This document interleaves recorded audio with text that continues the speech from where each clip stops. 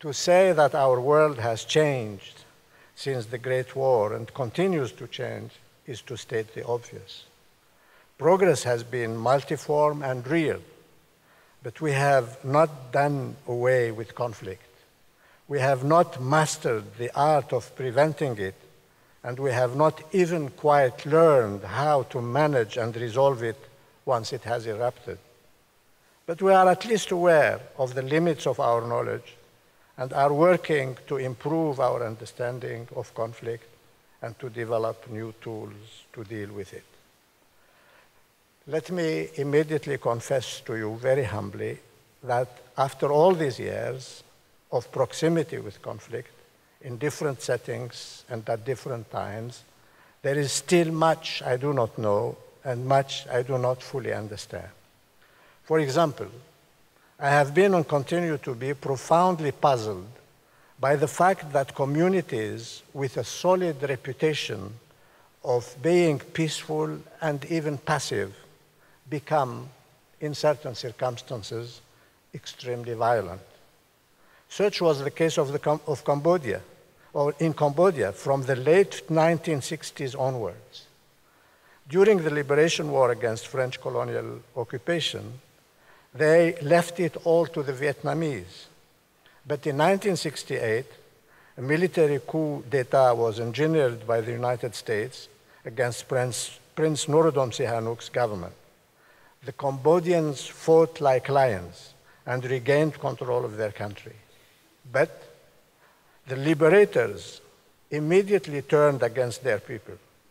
The Khmer Rouge, you will, I'm sure many of you will remember, emptied Phnom Penh of its inhabitants and systematically massacred hundreds of thousands of them in what became known as the killing fields of Cambodia. Similarly, similarly, the Lebanese are known to everyone and to themselves as highly sophisticated, refined, gifted for business as well as for the arts, peaceful, and fun loving. From the early 1970s, however, they surprised the world and themselves and became fierce fighters against each other and against the Israeli invader. I have found no ready made, fully satisfying answers to these questions, neither in the books of academia nor in the toolbox of the practitioner. Perhaps the, the, truth is much simpler, and that is that we, the members of the human race, are pretty much the same, and that individually and collectively, as the case may be, we are each and all capable of the best and of the worst. Circumstances make us one on a given day and make us the other on the next.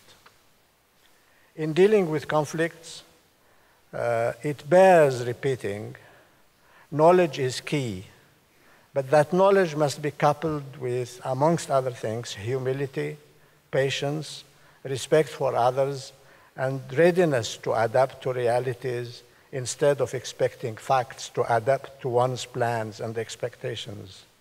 The military says something to the effect that the best plan does not survive the first bullet. And how right they are. A situation, especially a conflict situation, is anything but static. It changes all the time. And from whatever angle one is looking at it, it is imperative to be aware of that changing scene and to adapt to it. And one has to be prepared for the unexpected. Listen to this story.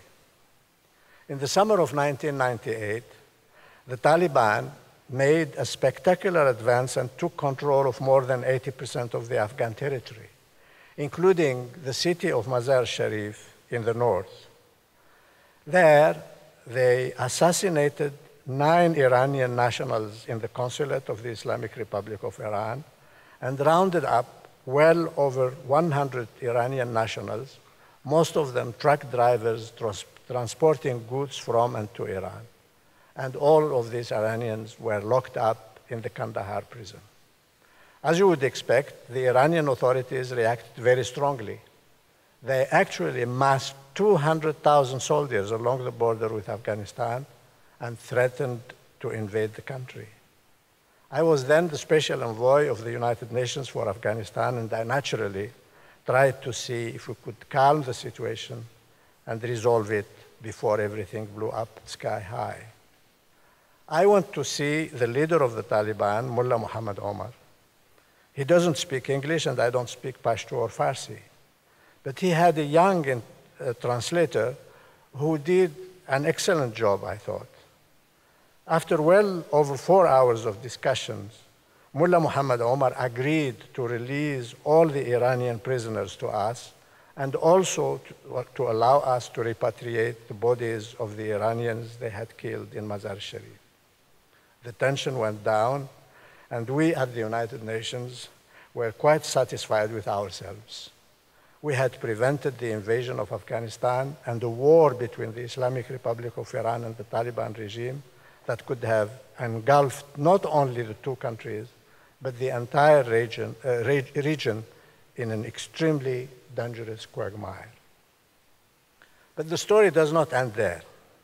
After some time, that young, man, that young Taliban interpreter, whose name is Rahimullah, sent me a message, the gist of which is the following.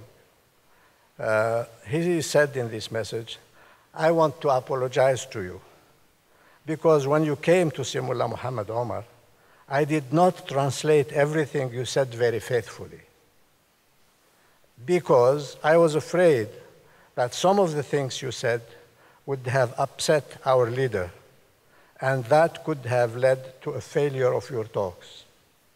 I also smoothed over some of the things Mullah Muhammad Omar said because they might have offended you. So, isn't that really amazing?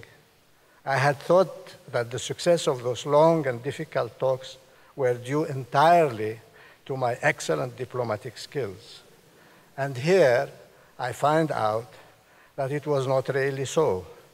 That a young Afghan Taliban in his early 20s had contributed significantly, perhaps decisively, to the successful outcome of my discussions with Mullah Muhammad Omar.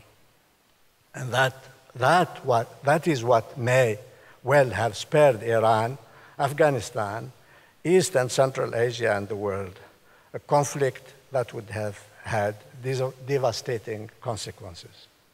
So, so much for the necessity for diplomats and mediators to be humble. And so much also for good luck. For it was a piece of good luck that we had that intelligent, creative, and courageous young Taliban for an interpreter rather than a professional who would have faithfully translated what was said with God knows what consequences. Uh, I mean, speaking of good luck, Napoleon said uh, that, uh, I think I quote, I think it is a direct quote, I have no use for a general who is not lucky. you have no use for a mediator who is not lucky. Uh, Bonaparte himself was the luckiest of his generals. Only his luck ran out at the gates of Moscow and finally not very far from here